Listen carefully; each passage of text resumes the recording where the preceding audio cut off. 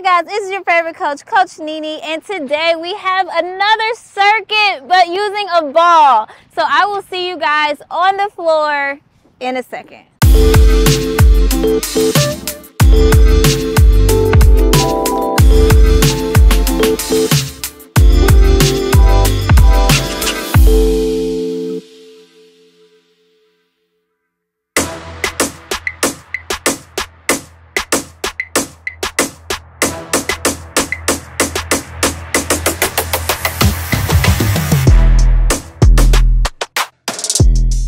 Today's circuit has three parts. Part one today is going to be moguls.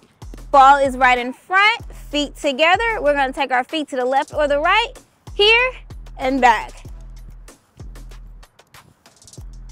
Part two is going to be rainbow slam. So feet wider than our hips, ball up, we're gonna slam, take it down, pick it back up, slam. So we're gonna sit down into that Part three is going to be knee strikes. Take one foot to the back, ball goes up above the head, bring the ball to your knee.